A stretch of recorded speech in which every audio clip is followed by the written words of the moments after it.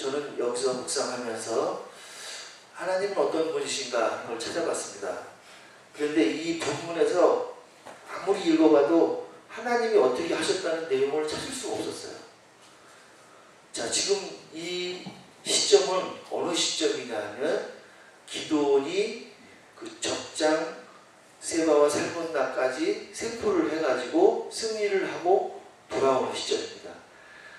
목사님이 그 말씀해 주셨죠. 기도원은 처음에 굉장히 유약한 사람이었었어요. 그래가지고 내가 어떻게 용사가 되겠느냐 했는데 하나님께서 기도원에게 계속해서 큰 용사에 대한 힘을 주시고 할 수 있다고 하셨죠. 그랬더니 기도원이 안한 못한다 그러니까 다시 또 어, 표징을 주어서 하게 하고 그랬더니 기도원이 그럼 이제 그 양털에다가 한번 하나님이 진짜 하나님이 양털에다가 이렇게 해서 이슬을 다 모아달라 그랬더니 다 모아줬어요. 그랬더니 그 다음에 또 그러면 양털에는 이슬이 없고 다른 데는 이슬이 있게 해가지고 하나님을 계속해서 시험을 합니다. 그래서 이제 하나님이 그걸 다 들어주셨잖아요. 그랬더니 기도원이 이제 전쟁을 나가긴 나가야 되겠는데 겁이 나니까 사람들을 몇만 명을 계속해서 불러 모았어요. 그랬더니 하나님이 너무 많다. 이 사람들로 전쟁을 하면은 이거는 내가 하는 전쟁이 아니라 너희들의 그 전쟁이 된다. 그래서 사람들을 다 보냈잖아요. 그래서 몇 명이 남았었죠? 예, 300명이 남았습니다. 그랬더니 기도원이 또 두려워서 떠니까 하나님이 그러면 그 미디안 적장에 가서 그들이 하는 얘기를 한번 들어봐라. 그래서 갔더니 이제 그들이 꿈에 뭐 보리떡이 와서 그래서 미디 그 이제 기도원한테 이제 힘을 줘가지고 전쟁에 나가기 위해서 드디어 큰 승리를 거뒀어요. 큰 승리를 거두니까 이제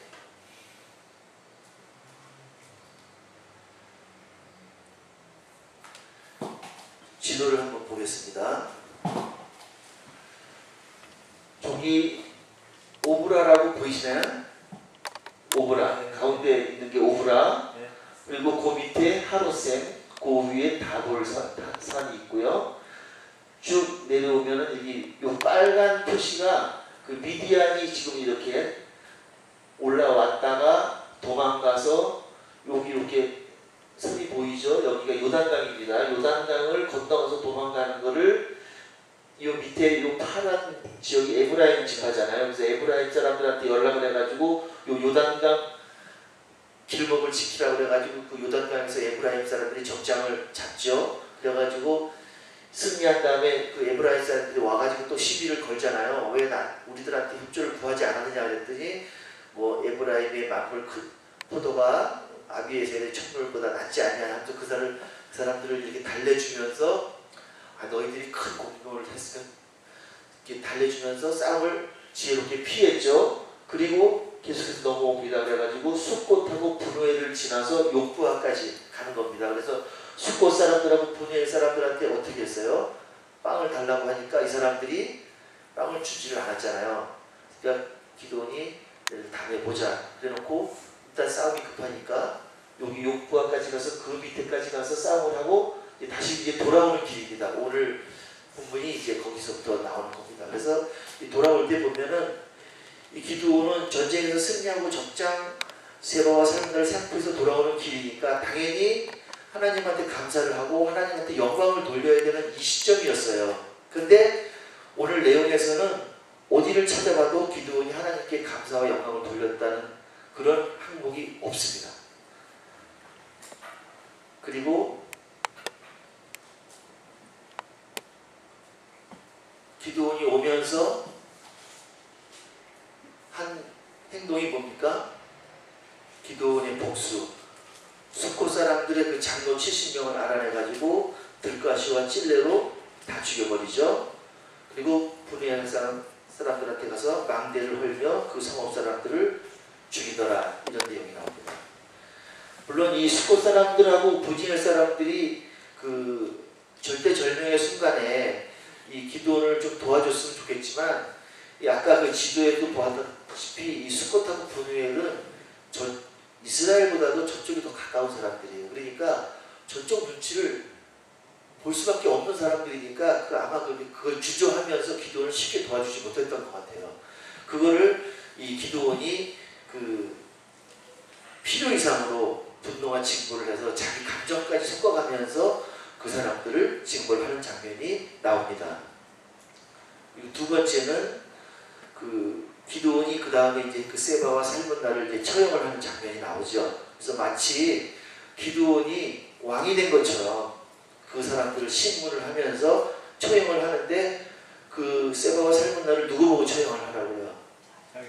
자기의 큰아들 보고 자기가 영광을 받는 것도 모자라서 자기의 대를 이을 아들 장자를 지켜서 적군을 적장을 치라는 건 뭐냐면 이 자기 아들도 뭔가 좀이 시점에서 이렇게 좀 그렇게 하려는 욕심이 있었던 것 같아요. 근데 그 아들이 기대에는 못 미쳐서 칼을 뽑아서 죽이지를 못해요. 아마 좀 나이가 어렸던 것 같아요. 그러니까 세바와 살문나 이 적장이 여기 그 성경에 보면은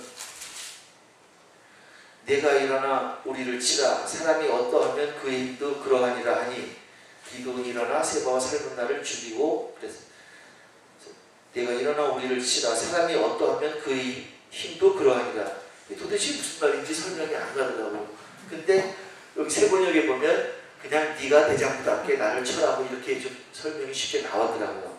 그래서 그 기도원이 그 적장을 또 치죠. 그래놓고 그 적장이 가지고 있던 금 장식을 또 자기 걸로 또 취합니다 이런 과정에서도 그 적장을 치는 과정에서도 기도원이 하나님의 뜻이 어떠, 어디에 있는지 이렇게 물어보고 행하는 그런 장면이 전혀 없습니다. 그냥 자기 마음대로, 자기 생각대로 처리하는 걸 볼 수가 있어요.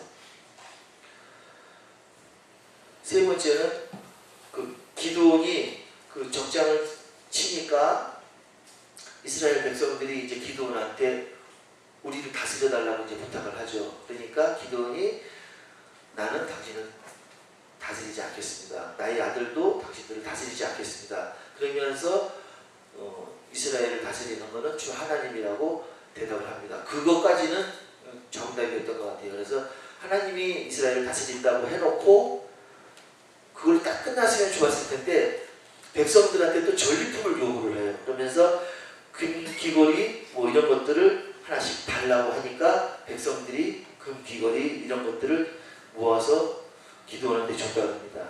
그, 이, 미디안 이 종족들은 유목민들이라서 그 재산들이 별로 없고 하니까 어떤 항상 필요할 때 쓰려고 금붙이나 이런 것들을 몸에 항상 가지고 다니면서 필요하면 그걸로 이제 쓴다고 해요. 그래서 이 항상 몸에 유목민들은 그 금붙이나 이렇게 즉시 현금화할 수 있는 그런 것들을 많이 가지고 다녔다고 합니다. 그래서 이제 그것들을 이제 뺏어가지고 모았는데 그게 1700세간이 됐다. 그래서 그것을 자기의 상업 오브라에 두었더니 온 이스라엘이 그것을 음란하기 위함으로 그것이 기도원과 그의 집에 올무가 되니라. 그래서 요 부분이 저는 잘 그 이해가 안 가더라고요. 에봇을 만들었다고 하고 에봇이라는 건 원래 제사장들이 하나님을 그 예배할 때 드리는 옷이잖아요. 그래서 에봇을 만드는 것 자체는 그게 무슨 죄가 되는 건가 하는 생각도 들고 그 에봇을 좀 뭐 금으로 만들었기로서니 그게 뭐 잘못됐나 했는데 생각을 해보니까 에봇은 대제사장들만 입는 거잖아요. 그렇죠? 그러면 분명히 그거는 레위 지파만 있게 돼 있는 건데 기도는 무슨 지파였어요?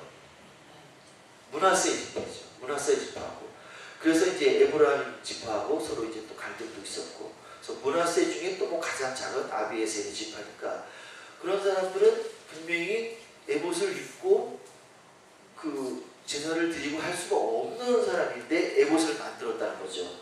근데 그거를 그냥 만드는 것이 아니라 금 1700세겔로 만들었어요.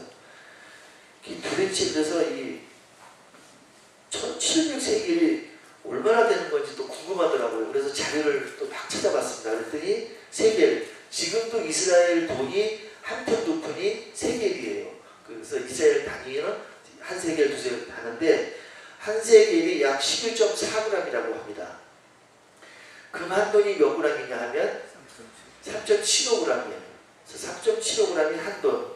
한 세겔 그러면 몇 돈이에요? 대충 기- 계산을 해보니까 한 4돈 정도 되더라고요. 그래서 1700세기를 했더니 그럼 몇 돈이냐? 계산을 해보니까 한 5천 몇백 돈 되더라고요. 그래서 그게 그럼 5천 몇백 돈 해서 지금 그만 돈이 얼마인지 아세요?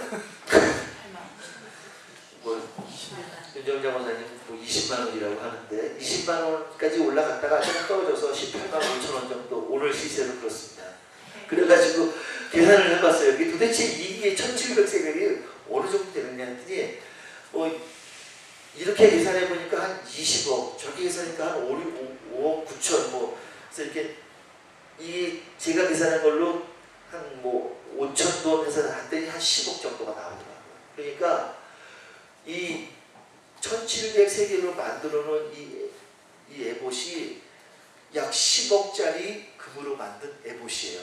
보통 에봇이 아닌 겁니다. 그러니까 이스라엘 사람들이 그 기도원 집에 와서 돈을 내고 그 에봇을 구경하러 왔다 그래요. 그러니까 하나님은 어디 갔든지 온데간데 없고 이 기도원에 있는 그 금 10억짜리 에봇을 보러 사람들이 많이 왔다고 합니다. 그러니까 정작 이 음란하다고 하는 얘기를 그래서 생각을 해보니까 하나님의 입장에서 음란하다고 하는 건 뭐냐면 우상을 숭배를 했다는 거거든요.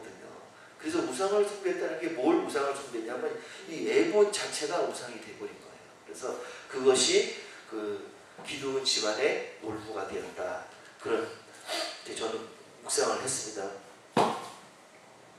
그래서 결론을 보면은